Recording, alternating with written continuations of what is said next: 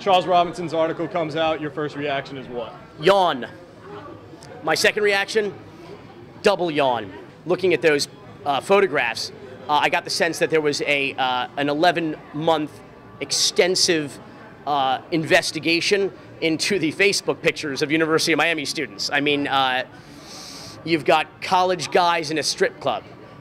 You've got uh, college guys at a restaurant. You've got college guys on a boat from the University of I mean, like, how, how many friends do you have whose Facebook pictures are them on a boat?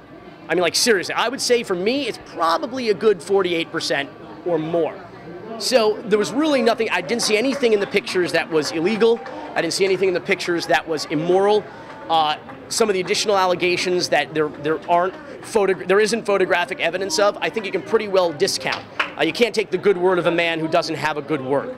Well, on Monday and Tuesday, I mean, uh, I was saying the same thing everybody else was. Where there's smoke, there's fire. It turns out where there's smoke, there's smoke. I mean, as you get closer, the smoke might get denser or thicker, but it's still just smoke. Uh, I, I, don't really believe, uh, from what we've seen so far, that the students, any of the student athletes, did anything wrong, particularly the, the current student athletes.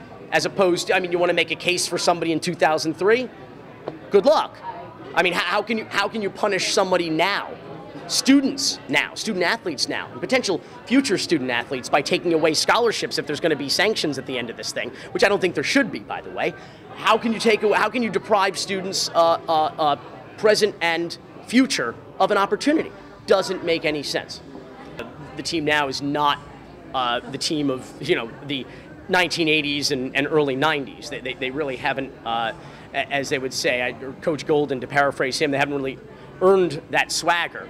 Uh, I don't think that's a direct quote. That's definitely paraphrasing uh, Coach Golden. But that's the idea. I think everybody understands that. Um, so I don't know uh, what outlaw culture or outlaw reputation they'd really be talking about now. It's a completely different team. Uh, than it than it was uh, back in, in those days. Uh, at, at, that time, the, the team adopted really the, the attitude and, and the makeup of the community of Miami. I mean, that's what the documentary was about, the U for ESPN 30 for 30.